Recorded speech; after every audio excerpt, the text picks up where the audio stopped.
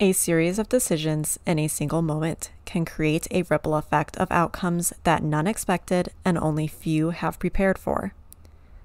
When your life is on the line, how quickly you act can propel you down a path of suffering, and by simply accepting death is a sentence that will take you to your grave. Standing on a boat, slowly sinking in between towering waves of frozen water, a mayday call, and the Coast Guard struggling to get a lifeline tossed against the mighty wind into your grip. Attempt after attempt, these professionals are failing, and your mind begins to wander towards the acceptance of fate. All the while, the solemn face with a worried smile and big, innocent eyes stare up at you.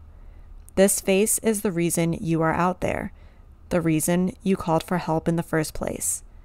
This face is the reason you will fight until the biting water pulls you under, for this is the face of your six year old son. Welcome back to Tragedy with a View. Dun dun. Every time. Yeah. You made it past past the intro this time though. I was trying to be timely and appropriate. I would also like to let our viewers know that we are using a different microphone this time, so I apologize for any if your dun dun dun sounds different this time. Meaning if it's super loud. I'll I'll do my best to uh edit the volume down on this a little bit. Um but yeah, my microphones are uh Took the poop. took a poop, not took the poop. I mean, they might have took the poop. Mm. That's the fair. poop to end them all. they went to the shit graveyard. Okay, first, I want to say two things. One, the information for this story I pulled out of a book that I was reading for a different story that we're going to do at a later date now because I liked this one more. The book is called Coming Back Alive, and the name of the guy is Spike Walker and he is or was a logger in Alaska. Is that not the most on brand name? Yes. I am just dazzled. You're not entertained. The only thing I can think of is Dexter. Dex- Cartoon? No. Dexter. The Oh, the murderer. Yeah. He at the end of the very last season, he's he's just a logger. Okay. I have I have not watched Dexter. Clearly. For all the viewers out there that know about Dexter and the final scene after the hurricane, you'll you'll understand. But that's what I think about when I think about loggers. and if you heard Dexter and also thought of the cartoon, you're my people. Dexter is a good cartoon. It is. Okay, so that was one thing. The second thing is there is a video that I'm going to put the link in the show notes for about this story and what happened. And I think it's like 15 to 20 minutes long. It's not very long. It is a fantastic watch. They have a lot of good information there and live footage from the awards that they they gave these guys for what they did. And it was just really touching.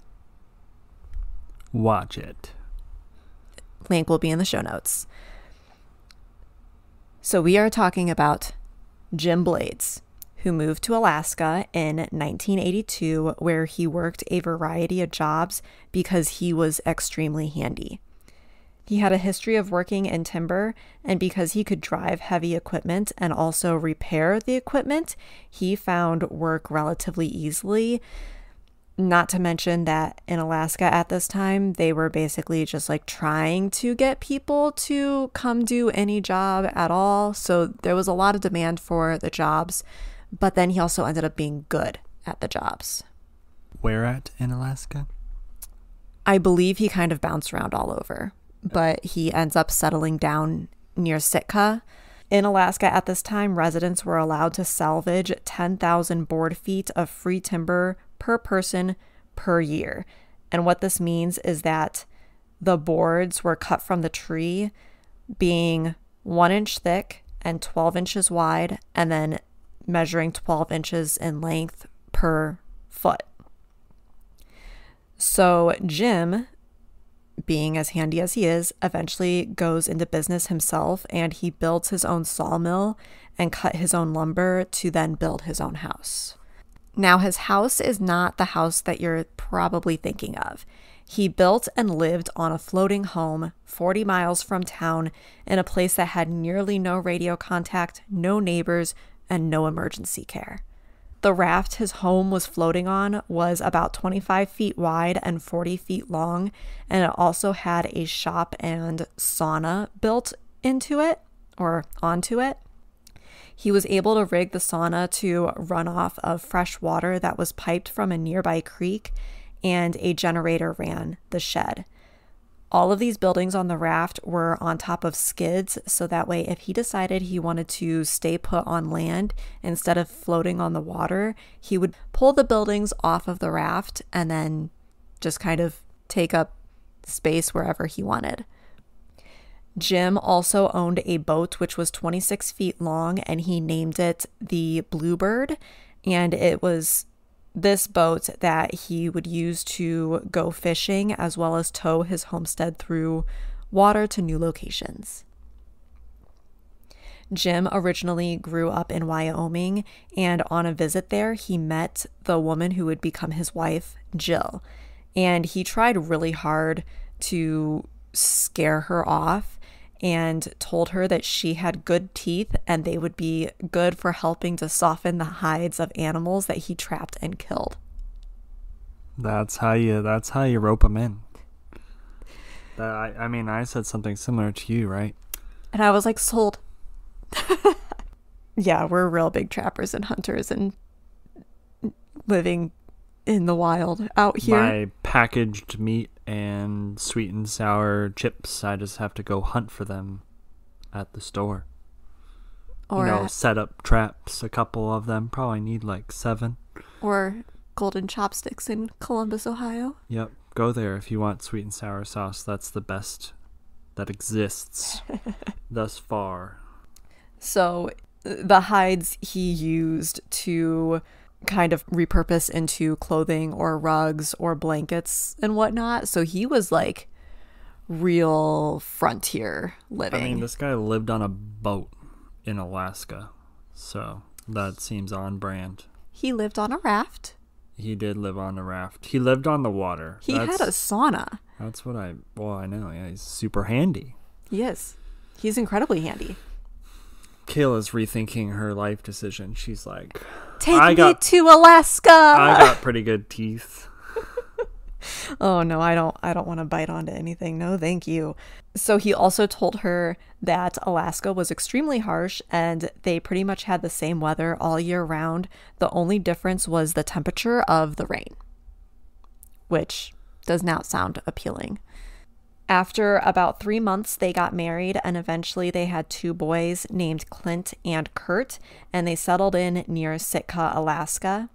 They were so remote that whenever they left their homes and were on land, they carried a rifle with them because brown bears were prevalent, and they often enjoyed seeing a family of sea otters play near one of the streams they stayed near to pump water for their sauna. On December 9th, 1987, it was about lunchtime when Jim and six year old Clint went out on the water to do some fishing for salmon and cod. It was only 3 p.m., but because of the way the sun rises and sets in Alaska, the sun was already setting, and with reefs and islands and rocks and cliffs kind of encompassing the area they were in, and the darkness that was descending upon them, Jim decided that they would wait to head home, especially because it would take them about two hours to get to town to drop off their load of fish, and then they would still have to travel home from there. They didn't typically stay out overnight, but because of everything else that they had to do, they decided that they would and then head back home the following morning. And Jim radioed Jill to let her know not to expect him home until the next day. That's interesting that he's taking his six year old son on basically a work trip, starting him out young, Yeah. overnights. Yeah, I think I think that's relatively normal for people who work in remote locations. And then there's also the fact that, you know, you get them involved really young.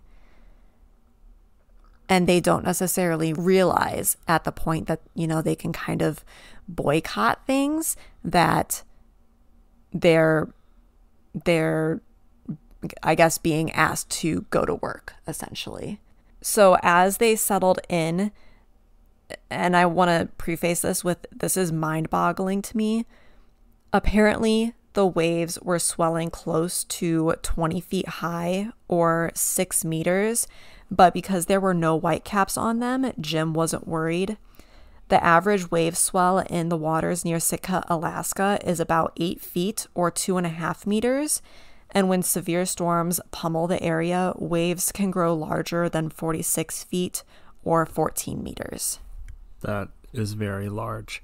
I guess it makes sense with the the white caps. I wonder if that has to do with like the speed of the water. Like if it's going too fast, then it will like turn over. So if it's not and it's just like bobbing up and down, then I mean they have a pretty big boat. Twenty six feet is pretty big, Yeah, I or twenty something. yeah, there it's 26 feet. You're right. All that I can, you know, compare this to, and I haven't spent a whole lot of time on the water, and I don't really like spending a whole lot of time on the water. But when I traveled back and forth to the islands a whole bunch a few, a few years ago, there was one night that a storm came in and they were basically shutting the boats down and they were like, this is the last boat. And then we're docking for the night. We're not doing anything else. And I know that the waves were about six feet.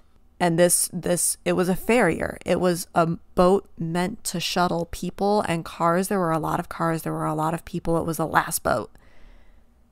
And this boat was rocking so hard. I cannot imagine what 20 foot wave swells will do. But I do want to mention that wave height is not the only consideration for rough seas, as you also need to pay attention to how close the waves are together, which is also more telling of the severity of a storm. So basically, I've come to the conclusion that you just have to be a different breed to live in Alaska. I agree. So at this time on the water, the waves went from being calm and steady to aggravated as gusts of wind increased from 30 miles per hour to 70 miles per hour, or 56 kilometers per hour to 113 kilometers per hour. And this happened without much warning to Jim at all.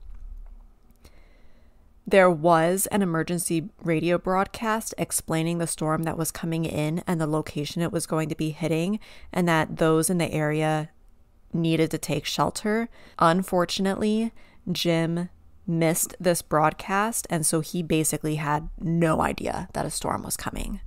As soon as he saw the winds picking up and the waves begin to, to pick up and kind of create that white cap and crest over, he knew that he needed to do something. And so he told Clint to put on his survival suit, which I didn't really know what a survival suit was. So I pulled this description just from like, I'm sure it was like Wikipedia or something. I Googled survival suit, and that this is what I pulled.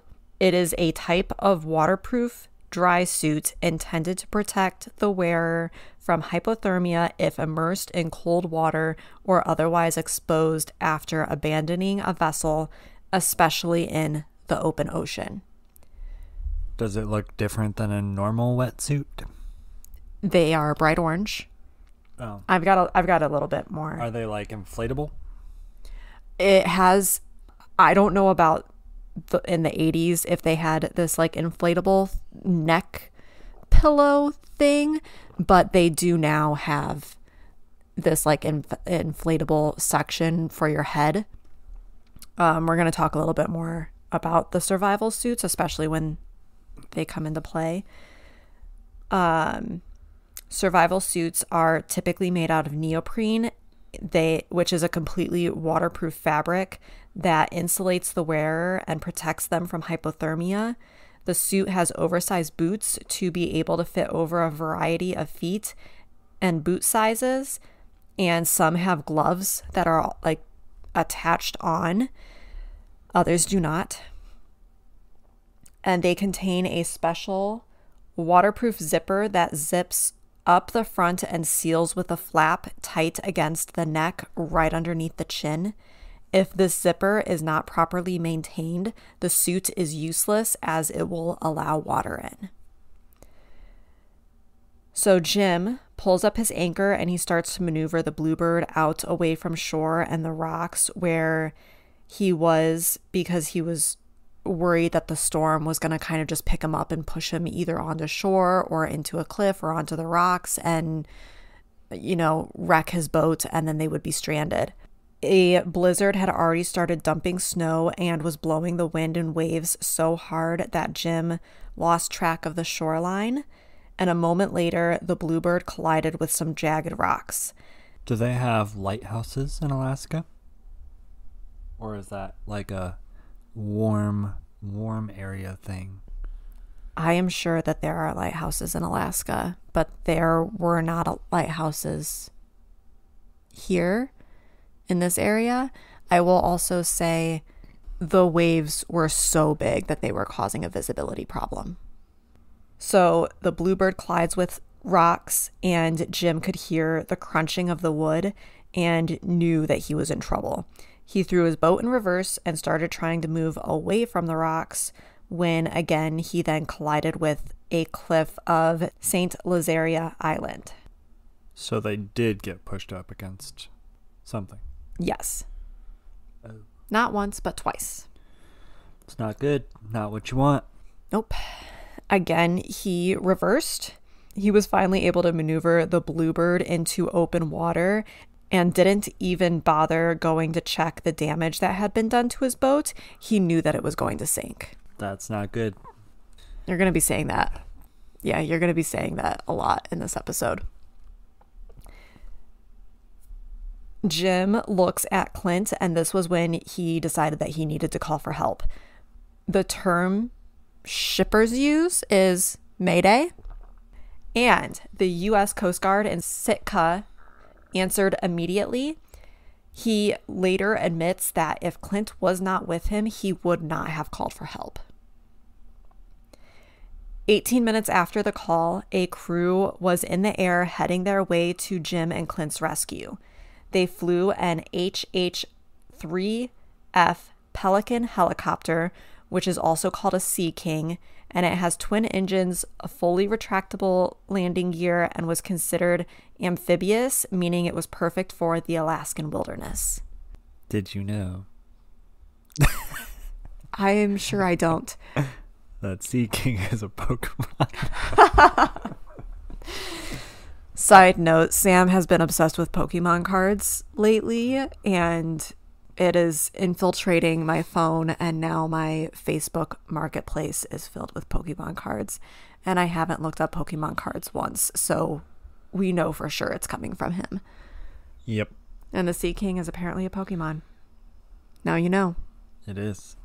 On board was pilot Commander John Whiddon co pilot Lieutenant Greg Breithaupt, Carl Saylor to operate the hoist, Mark Mylene to operate avionics, and Jeff Tunks as the rescue swimmer.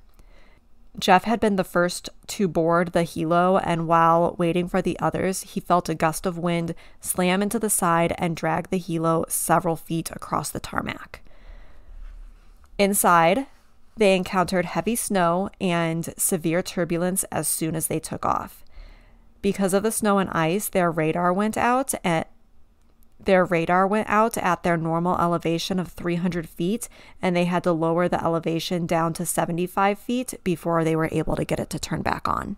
The wind, gusting at upwards of 90 miles per hour, was so strong that it kept grabbing a hold of the helicopter, and almost like you see umbrellas when the wind grabs the umbrellas and it like turns them inside out and like like pretty much pulls them out of your grip. That's essentially what was happening with this helicopter. The wind was catching the blades and ripping it backwards and then as the wind flowed, gravity took over and it would start pulling the helicopter down towards the waves. I wonder what the like conditions are for the Coast Guard to not go out. Cuz these sound pretty bad. Like that helicopter could just crash. I agree. And there have been many crashes in this area. Oh. Yeah, I mean, it is their quote unquote job like to go out in these conditions, but like I'm curious on the boundaries. I'm sure they have some. I mean, in the last episode, Lexi and I talked about a storm that hit Mount Mount Denali and there were multiple days where they refused to fly because they wouldn't be able to see anything because of the storm and it was too risky for their their people so i'm sure there are limits This sounds worse. oh no Okay. this this no This is gonna they're gonna crash. They could just be pulled into the water. i am not going to say that one was worse than the other because there are very clear risks in in the locations of of both uh, uh, both of them are in Alaska. I'm doing two a- episodes in Alaska in a row. So, Alaska December. well, November, December. Alaska holiday season. Enjoy your time in Alaska. We're going to Utah next. Um, no, I just they're they're different, and you know, like I said, I'm sure that they do have limits to when they go out. Clearly, though, this was not in crossing those lines, so they they made it out, and um, Commander Whiddon wasn't even supposed to be on duty that night, and Lieutenant Breithaupt were doing everything that they could and basically had everything turned on to full power, and the helicopter still wasn't responding when the wind was grabbing a hold of it. But they continued to fight through every single wind gust and eventually got to the location that Jim and Clint were in. Whiddon started trying to locate them, but the gear they used, specifically the direction finding equipment, which will find a radio signal while the radio is being used, wasn't working. After multiple attempts, Jim finally stepped out on deck and shined his flashlight into the air. For a split second, as the wave lifted the Bluebird high into the air, Carl saw the light and they were able to track them down this way instead of using technology. That is very fortunate. That seems very lucky. I agree. I agree. There's a lot of luck in this too. Once they once they were able to somewhat hover over the boat, they realized two things.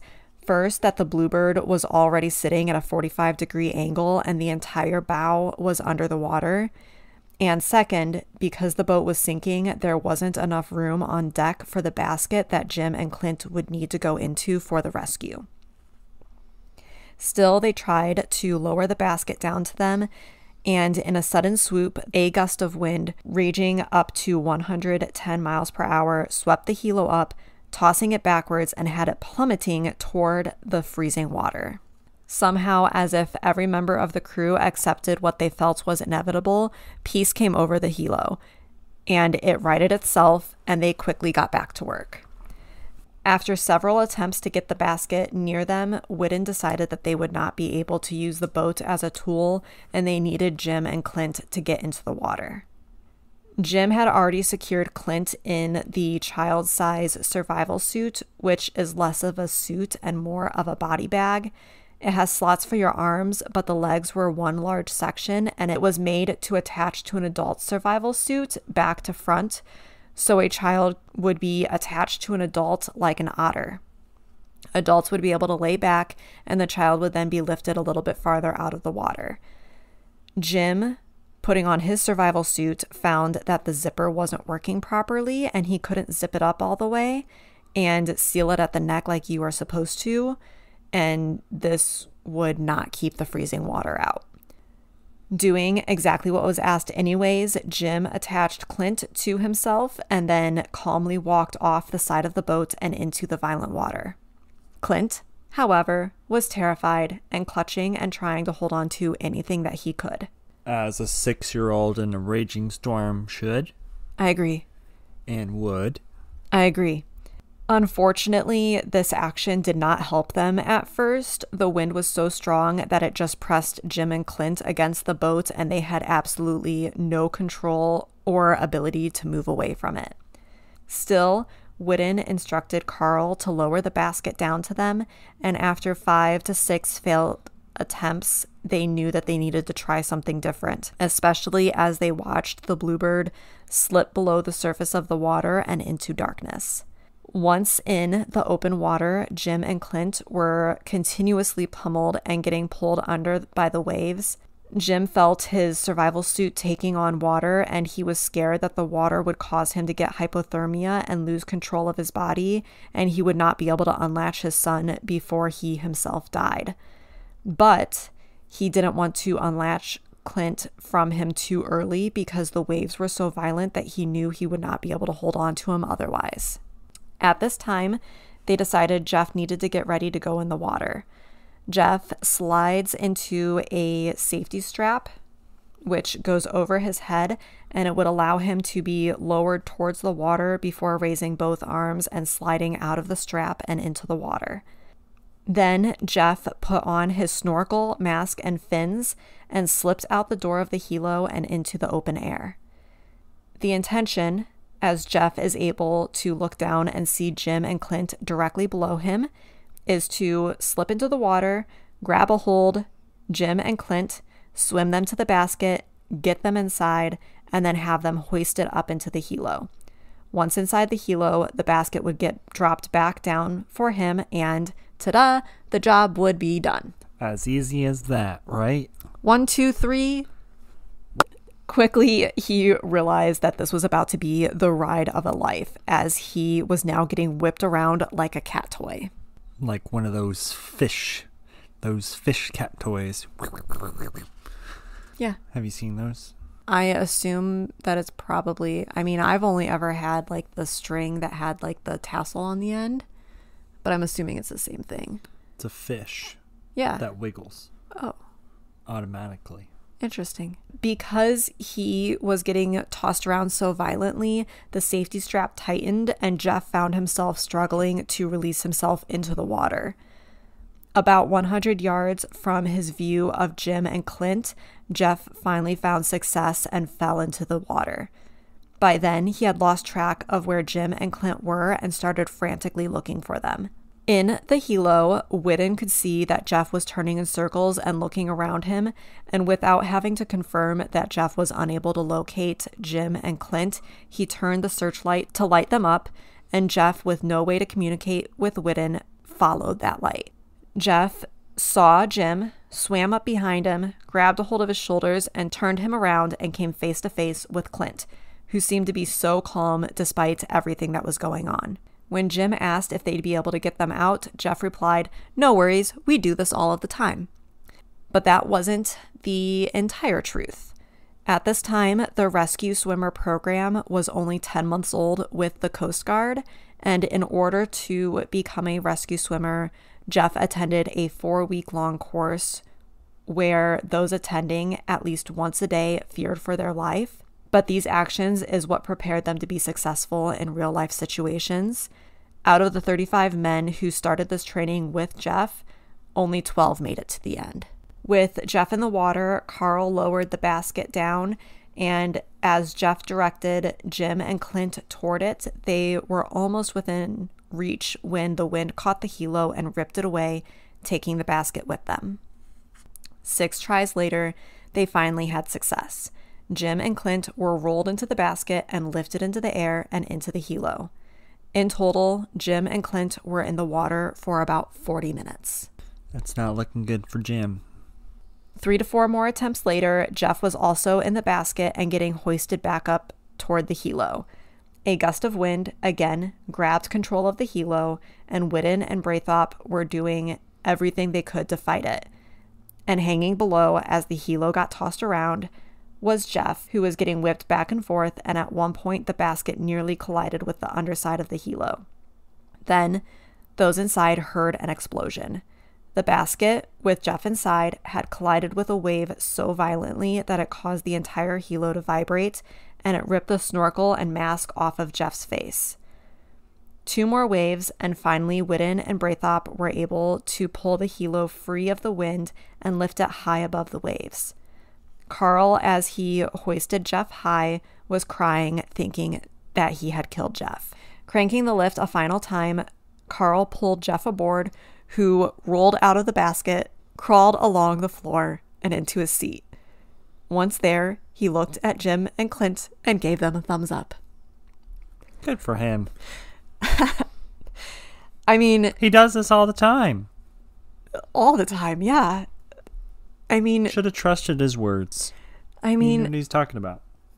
the kind of blessing and a curse was that this was the you know professional swimmer who was getting attacked by the water and the waves It would have been worse if it was the pedestrians. the 6-year-old boy i agree at the same time jill and their younger son kurt who was 4 at the time were sitting home when they noticed blast of air tearing through where their floating home was sitting The home rocked hard to one side and then the other, and the cables tethering their home in place were groaning loudly under the strain brought by the wind. Jill grabbed her radio in an effort to reach Jim, but was unsuccessful. Clicking through the stations, Jill suddenly heard his voice. He was talking to the Coast Guard, and she was able to gather that he had already called for help and the Coast Guard was coming to get him. She stayed on that channel and listened, but because of the setup of her radio and her location, she was unable to connect in and talk to them herself. Jill and Kurt heard the Coast Guard as they hovered over Jim and as they had him and Clint in their sights, and then the channel went silent. As time stretched on, Jill's worry turned into panic. She called their neighbors, quote unquote neighbors, and Ah, good joke. and They're 10 mile plus neighbors. it was a community. She she called her neighbors and asked to start a prayer chain and when one of the neighbors offered to come pick her up and take her and Kurt into town, she immediately said no that she didn't want anyone else to risk their lives in the storm. Half an hour later, her radio cracked. Mrs. Blades, she heard. Answering with a simple yes, a member of the Coast Guard replied, "We got them." Woo! And for this incredible rescue, the air crew was awarded the ANA Award for Outstanding Achievement and also received the Distinguished Flying Cross. That's nice. Oh, you should use the meme. Ladies and gentlemen, we got him. Well, that's what I got today. That was interesting. That was wild. I would have been very scared. But people that deal with water rescue and the Navy and those people are crazy. They're You know what? different. You know what? What? In the last episode with Lexi, I am literally never going to forget this. So, Lexi, if you're listening, thank you so much. I made a comment about how the guys are crazy. And she was like, they're amazing. What guys? The guys climbing the mountain. Oh, But she was like, they're amazing. And I was like, they're also crazy. And she was like, yeah, they're crazy, but they're amazing. And I, I think that applies here too. They're crazy, but it makes them amazing. yes. And they do amazing things. And they saved lives. And thanks for being on this ride with me. Thank you for listening. We got them. We got them.